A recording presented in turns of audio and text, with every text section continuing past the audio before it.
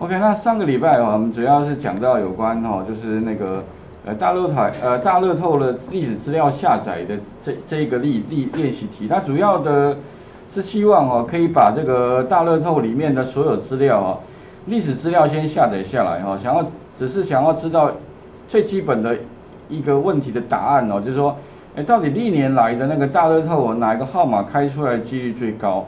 那当然，我们主要是希望取得那个前七名的啊。假设前七名的部分的话，那该怎么做比较简单呢？哈，那当然用的方法哈，呃，比较笨的方法当然就是用土法炼钢嘛。反正你就一个一个把资料先复制贴上，复制贴上哈。那当然我在网络上 Google 得到的结果，好像有个乐透云。当然除了乐透云之外，你们也可以找其他的网站啊，它其实也都提供那个历史资料。那只是说乐乐透云哦。针对这个网站里面的话呢，我们可以看到它基本上的结构哈，哎，就是会帮你把最新的放在最上面啊。总共它给你有四个栏位，那当然其中前面三个栏位是我备注，其实里面是空的了哦。哎，所以我们需要取得这三个栏位哈的方法。那当然哈，哎，如果以前你假设不会用爬虫，不会用程式的方式来做，那当然就土法炼钢，变你要选取 Ctrl C。再 Ctrl V，哈，其实还蛮浪费时间的。那因为呢，它基本上哦，资料大部分网页会把它分页了哈。你会发现，因为现在你如果不假设你一个页面放六六十八页的资料的话，哇，那不得了，可能要载非常久。所以它为了说载页面可以及时的话，通常会切一些页面啊，不管哪一个网站，其实大部分都会分页吧啊。你们可能逛一些。像电子商务啊，像 Momo 啊、PC Home 啊或虾皮啊等等的，其实他们一定会分页嘛，哈。那如果你要分页，你要抓里面的资料的话，那当然哈，你就需要用一些方法了。OK，好啊。当然里面的话呢，比较关键的地方哈，就是说上面这个网址了哈。那这个网址的话，一般叫 URL 啦。OK，其实白话意思就是网址了哈。然后呢，里面有一些特点，就是说，如果当你点选它的其中一个页面的时候哈。你会发现哦，最大的改变什么？它原来网址是这一个，哎，哪一个网站的哪后面这个是一个哪个网页？那哪个网页的话，当你点选的时候，它有规则哦，就是说呢，你如果要跟那个主机啊，因为它是一个 server 啦，server 的话呢，它必须二十四小时开着。你要跟它沟通的话，那你要怎么跟它沟通哦？通常的话哈，就是会传递一些参数给它。那传递参数的规则哈，基本上大同小异，就是说呢。各位可以看到哈，哎，我要传什么讯息给你了？你会发现这边有个问号，有没有？就是哪一个页面后面有一个问号，那后问号后面的话就是它的参数名称加上它的资料，然后 end 的话就是第一，这个是第一个嘛，它是第二个，所以它这个页面传了两个参数给那个主机，啊，那个主机啊跟他讲说，哎，我要第一页，那 unit 等等于一嘛，哈，而且哦，order by，order by 什么排序等于 new。等于 new 的话就是由新的到旧的，哎，那你想说，那顾名思义，如果由旧到新的话，那是不是可以把这个参数改什么？改 old 嘛？哎，你们可以试试看，应该 OK 哦。啊，如果你不不是 new 的话，你可以改一下，改一个 old，要不要 enter 一下，看一下是不是由旧到新？哎，old，哎，有没有发现，它就会把那个二零零四年的一月五号，哎，那这第一期哈，开奖。帮你把它放到最前面，OK，所以哦，其实传递参数哈，就是从这个地方做一个参数的传递了哈。那不过了，当然还有另外一种 URL 哈，比较特别，你们可以再观察一下。大部分的这个网站哈，都是用这个方式在传递的啊。比如说我刚刚提提到像 Momo 啦、PC Home 啦、虾皮，甚至是订房网站像 Agoda，哎，你会发现上面都有参数哦，都看得到哦。但是少部分有一些哈，其实是你看不到的哦。哎，为什么看不到？比如说你要输入账号密码的时候，你会发现账号密码不可能在上面出现啊。比如说你的 username password，那完蛋了，上面出现的话，别人都看到了，那就没有隐私的问，就会有那个，哎，就是你的隐私哈会被这个看到的问题了哈。所以呢哈，假如说没有隐私问题哈，它会放在这里的话。啊，这是一种传递方法。那这个传递方法一般叫做叫做 get，啊，就是你给给那个 server 的话呢，这个方法叫 get。也就是说你透过 URL 传递参数哦，那这个方式呢叫做 get 的传递方式。那另外有一种方式就是你看不到的哦，这个地方哦，它把它藏起来。如果藏起来丢给 server 的话，哎，那种方式叫 post。哎，post 哈，啊，其实顾名思义啦，get 是我我直接给你，给你哦，OK 哈，你看得到也没关系，别人看到也没关系，反正我是公开的。那另外一种是 post，post 是什么？有点像是寄邮寄，把它打包，也也就是我有把资料哦先包在一个地方之后哦，我再给你，那这样别人就看不到了。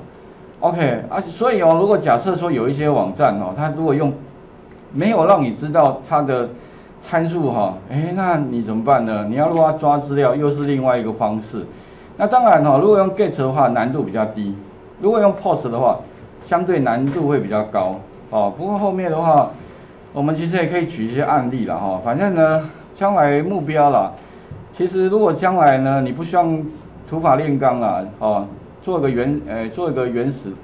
其实如果你这样做，我觉得有点像现代的原始人，做的方法根本就，呃，不符合时代的潮流。OK，因为现在大家都会写点简单程式，你不会的话，那当然你的效率绝对是比人家低了吧。OK，好，就像说现在大家都用新的科技、新的产品，结果你还在用旧的产品，当然一定感觉就是落后了。OK，哈。而且现在的企业哈，现在最，我觉得现在最最缺的其实就是会写点程式，但是它又具备有其他的专业技能，不是只有会写程式哦。因为如果你只单单会写程式，就好像你会一个工具，但是你这个工具要拿来做什么，他不知道。OK，所以最好是什么？又具备有呃本身的专业，好像金融，好像会计，好了。然后呢，他又懂电脑，哇，那当然是一加一大于二的效应了。OK，哈。好，所以上个礼拜主要是什么？利用这个啦，刚刚讲 get 好，然后传参数嘛。所以其实我们上个礼拜哦，主要是利用这个概念，再配合一个物件哈，叫做 query table 啊，有没有？所以呢，我有个范本啊，因为这个 query table 哈，基本上呢不难理解哈。啊，实际上这个 query table 实际上是从那个就是 Excel 里面的聚集录制录下来，我把它简化。所以上次要抓一页的话，哈，其实就是这这个地方哈，把它先怎么样？这个城市码先复制，然后加什么？加 URL 后面这个网址，然后呢再加上第几个 table？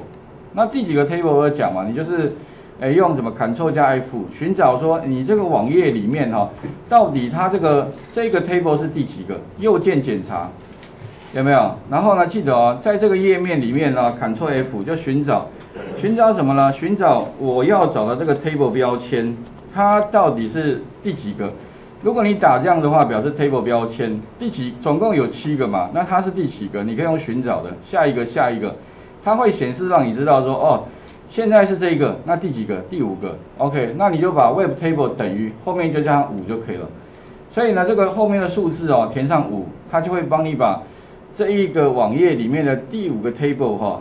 帮你抓回来，这大概就这样了。OK，一个简单的一个对应关系。哈，那如果说你要把全部资料抓下来的话，我们把它改成批次了。OK，有没有？本来是大家都一页嘛，哈，然后改成多页。那多页的话，就是把 index page 等于多少？等于一哈，改成一个 i 的变数，然后范围给它 for i 等于一到六十八，哎，这样六十八页就下来。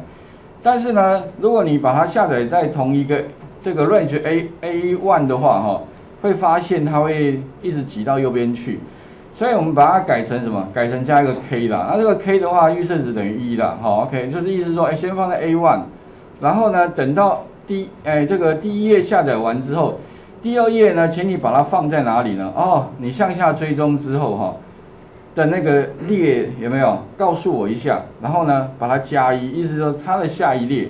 这样的话，很快就可以把所有的大乐透资料呢，全部都下载完了。OK，好，那其实啊，上个礼拜的重点不外乎就这这个了哈，就就是简单的爬虫。哎，然后的话，后面其实下载资料哈，可能还解决一些问题啦，包含就是下载下来资料最后要剖剖开来，所以我们会用剖析的哈。那当然剖完之后的话，你就可以做一些统计排名了。那最后我希望看到的，当然嗯，不外乎就是哈。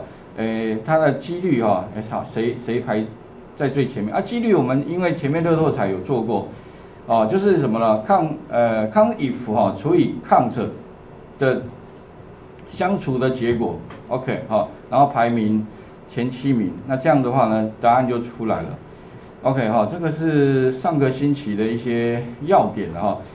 那今天的话，原则上哈，当然我是建议啊，如果各位还意犹未尽，想要做其他练习的话，哎，你不妨哈可以去抓什么？抓六合彩、金彩五三九、威力彩，有吗？大福彩这一堆彩嘛。那其实我想原理原则，哎，这个不太一样，好像威力彩应该比较接近，对吧？威力彩这个也有，然后金彩五三九，这个好像不太一样。不过我记得它好像也可以抓啦，因为它上面这个也其实也是一个页面哈。不过你会发现呢，哎，它这有个旧版，哦，它有个新啊，它这个，所以啊，如果你点点开来之后，假如发现它是这个是新版，你开一点上面有个旧版。旧版一样，哎，所以它旧版在这边，好，一样可以去抓什么六合彩、金彩五三九，那它其实会有同样的概念哦，就是说它的那个，诶，资料里面的话，基本上也是分页的，我这个分更多，这个有分九十五页嘛，哈，所以如果假设呢，你希望把像六合彩哈全部都抓下来的话，诶，大大体上一样，哦，就是一个配局一个配局，看它配局数量多少哈，只是说它多了一个栏位。下次开奖日期，不过这个应该我们用不到，所以如果用不到，你将来也可以把它删掉哦，无所谓。OK，好，那请各位先把这个部分稍微在这个试试看，好不好？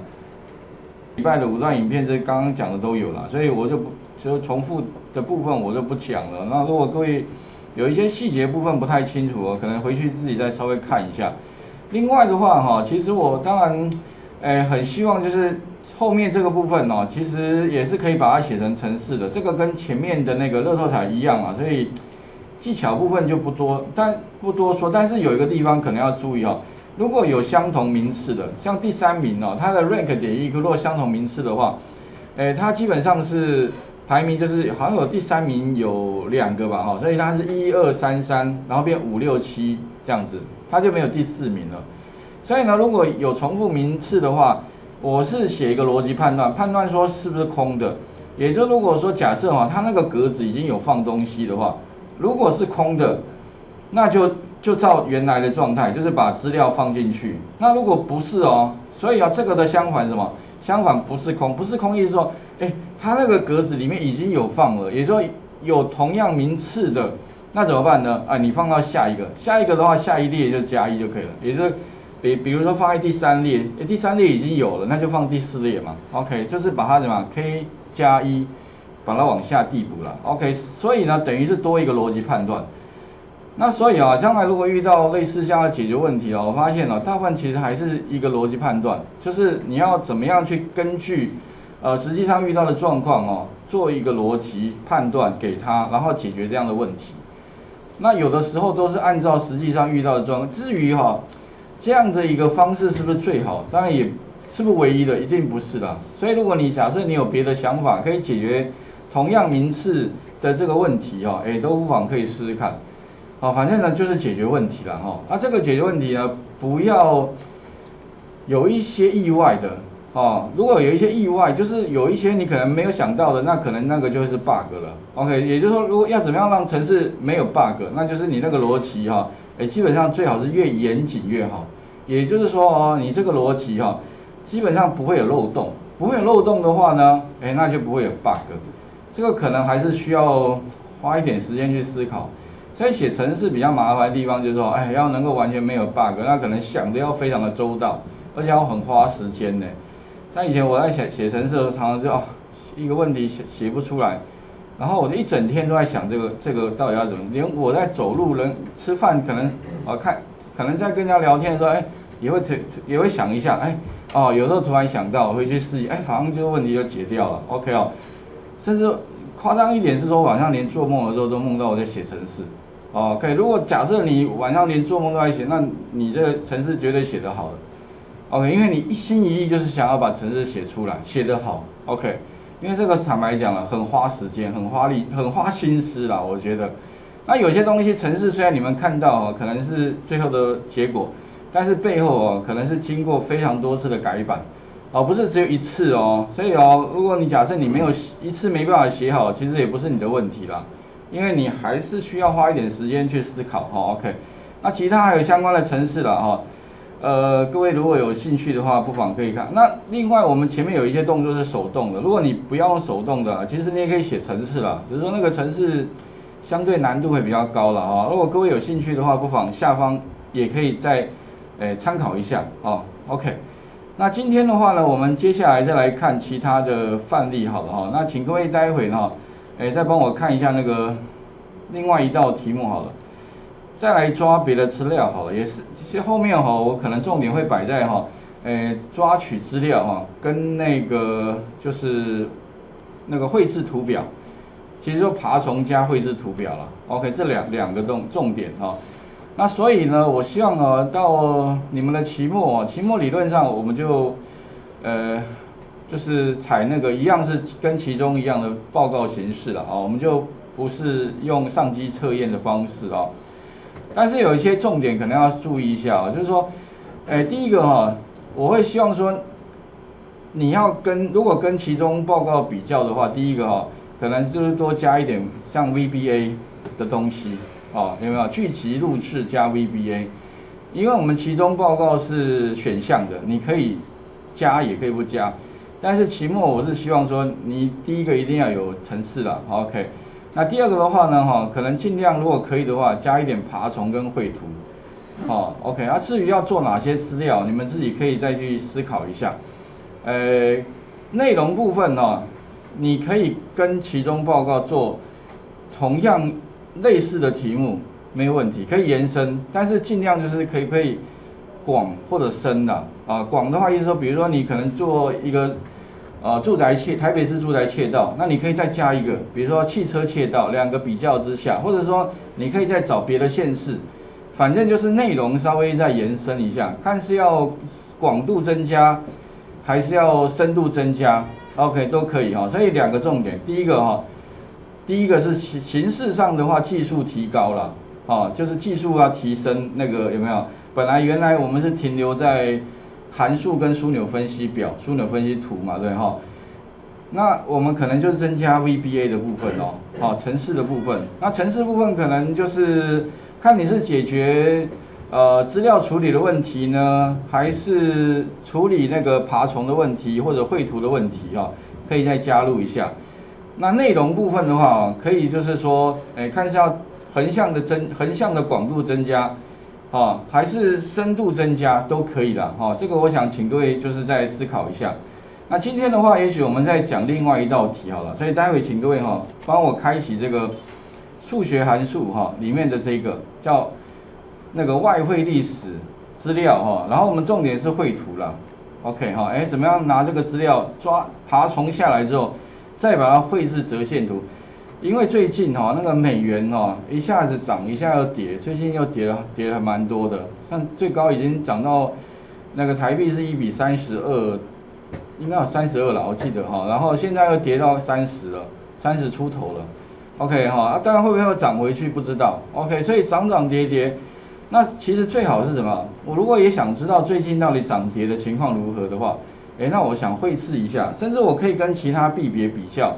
那我在网络上找，哎，发现哈，有一个有一些资料是有提供，就是在开放资料里面哈，哎，其实有哎，在那个政府的开放资料里面，居然有每日外币参考汇率，而且会有个 CSV，好，那提供的资料包含就是美元、呃人民币、哈欧元，还有日币等等的其他币别。当然了，我如果假设啊，我希望。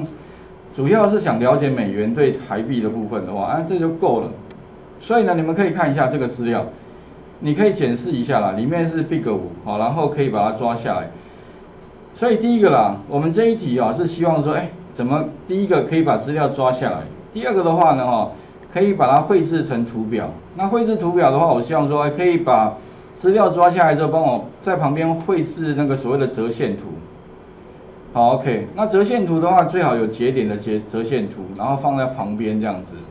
那当然我可以练习，哎，如果我画一个哈，那我如果要画全部好了，总共好像不知道十十几个币别，哎，那我希望呢一个页面里面呢就帮我放很多图，都帮我列在一起好了。